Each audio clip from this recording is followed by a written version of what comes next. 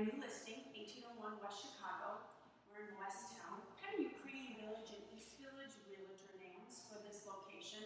New construction building. My client actually got transferred, so she only lived here a short period of time.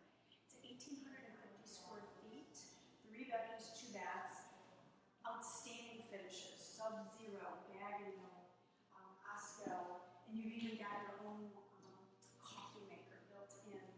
The property also has attached garage parking, tandem spaces. It's an elevator building, so everything has an elevator, including the garage, and private roof access with the elevator, and she has her own space on top of the uh, roof with spectacular city views.